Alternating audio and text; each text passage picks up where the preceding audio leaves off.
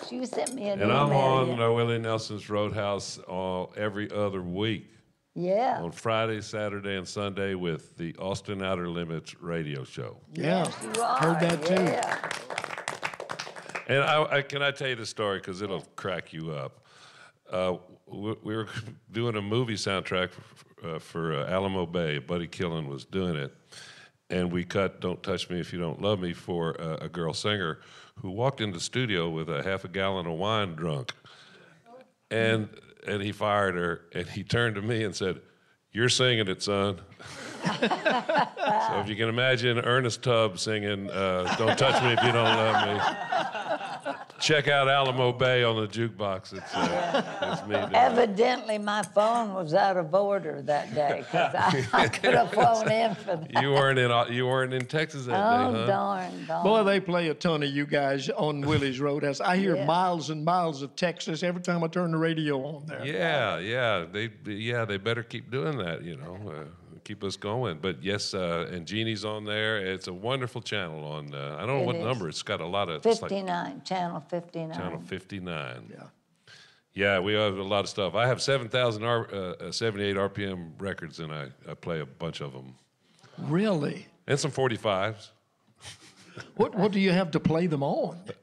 I have a, well, we have to digitize them there, Bill. It's a new thing called digitization. Oh, W- w- really? Yeah. How do it work? um, yeah, don't ask. Magic. They, but uh, yeah, th that is a, that's one of the problems because sometimes you can't find them. Uh, but yeah, I uh, I go up to the attic and get them down, and uh, I play a lot of stuff. So you really are. eh, Somebody said Susie said you really are a musicologist. I mean, you're really Oh, into music. Yeah, I got a BA, a busted ass, you know. no, I love music and I collect the 78 since I was telling uh, uh, John uh, uh, about a. Uh, used to go next door to Sho-Bud was uh, a store and we'd go upstairs and they had all these old 78s and we'd buy them for 50 cents and uh, Buckley's record store. what was it called? Buckley's. Buckley's, yeah, yeah. Louis the old man, we, he, he, Yeah. he'd say, "What do you want them for?" I said, "Oh, how much? Fifty cents." What's the oldest record you got? Oh, I don't know. I guess right from the late 20s, early. You know, I tell people, you know, we now have 100 years of recorded music. Think about it. You know, 1920, I think 1918, 19. And not only that is you just press a button somewhere or, a, a, a, you know. You ever been to YouTube? YouTube. Uh, yeah. That's the hillbilly YouTube. you know. and, uh, you know, you can see 100 years of recorded music. It's amazing. I got a 78 of Patsy Montana's I Want to Be a Cowboy Sweetheart. Yeah. Uh, of 1935. 35, Yeah.